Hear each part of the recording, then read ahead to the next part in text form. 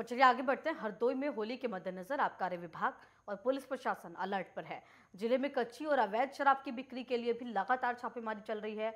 Police की नई की जो टीमें हैं, वो ढाबे और वाहनों की लगातार चेकिंग कर रही है। तो होली के त्यौहार पर आपको बता दें कि पुलिस की तरफ़ से अवैध शराब के खिलाफ एक्शन जारी है। लगातार पुलिस की तरफ़ से यहाँ पर सर्च ऑपरेशन भी किया जा रहा है। अभियान चलाया जा रहा है। साथ ही अवैध शराब के खिलाफ भी यहाँ पर एक्शन लिया जा रहा है। पुलिस लगातार छापेमारी की कार्रवाई भी कर रही है।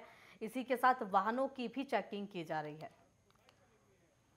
होली के त्यौहार के मद्देनजर जिलाधिकारी महोदय द्वारा जनपद में आबकारी, पुलिस और प्रशासन की छह टीमों का गठन किया गया है।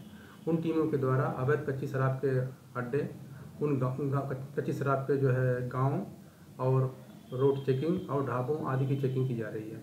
जिसमें पुलिस अधीक्षक महोदय द्वारा अपने सी को और जिलाधिकारी महोदय द्वारा अब समस्त एसडीएम को निर्देश कर दिया गया है।